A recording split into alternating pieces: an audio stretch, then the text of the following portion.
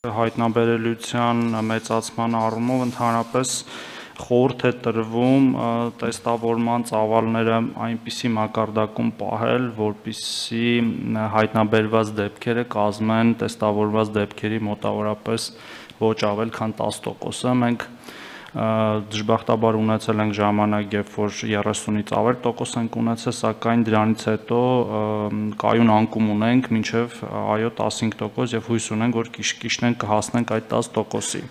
եւ դրան հասնելու համար է որ նաեւ մենք պրոակտիվ նախաձեռնողական վերցնում ենք ռիսկային փակ հաստատությունների կոլեկտիվներ կամ բնակիչներ հետազոտելու, ինչպես նաև համաճարակաբանական կապ գտնելով տարբեր տարբեր ձեռնարկություններ։ Ես որոշները կարող եմ առանց անունները նշելու, օրինակ դրանց մեջ են ամբողջական կոլեկտիվներով սուպերմարկետներ, ֆաբրիկաներ, փակ հաստատություններ մեր համակարգի հոգեկան առողջության կենտրոններ, բանկեր,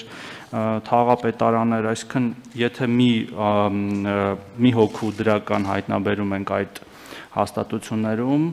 որpիսի հնարավոր մնացածին էլ արագ հայտնաբերենք, մենք չենք սպասում նրանց մոտ սիմպտոմների հայտ գալուն եւ դիմելուն։ Մենք վերցնում ենք եւ բոլորին հայտնաբերում ենք եւ քանի որ մի լավ օրինակ կա, օրինակ այդ օրինակը ուզում եմ բերեմ, վերջի մի քանի օրվա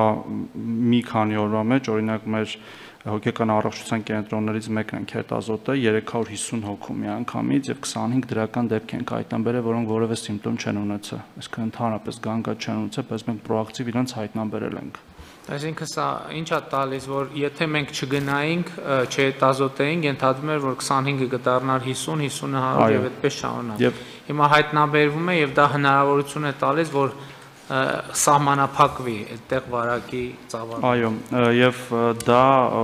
այդ մեր հիմնական ցուցումներից մեկն է լինելու, որովհետեւ փորձը ցույց է տալիս, որ բժշկական ցուցումներով դիմելությունը բարեբախտաբար աստիճանաբար ընկնում է, այսինքն Եթե մենք առաջ ունեինք օրինակ ցուցանիշ, որ 38.5 ջերմությունով քաղաքացիներն ենք միայն հետազոտում, հետո իջեցրեցինք այդ ցուցանիշը 37.5-ի, որը փաստացի ցանկացած ջերմությունն է, այսպես ասած, միևնույնն է դիմողները քիչ են պոլիկլինիկական համակարգ, հիվանդանոցային համակարգում են քիչ լինում նման սիմպտոմներով քաղաքացիները, բայց որpիսի մենք բաց չթողենք որևէ